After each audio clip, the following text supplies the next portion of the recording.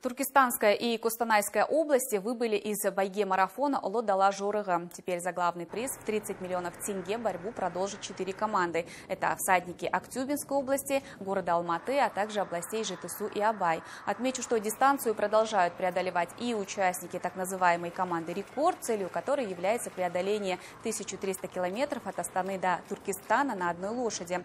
В нее входят всадники из Астаны, Мангистау и области, области Житысу. Их также ждут ждут серьезные денежные призы и возможность попасть в Книгу рекордов Гиннесса. Впереди еще 150 километров, включая два последних этапа.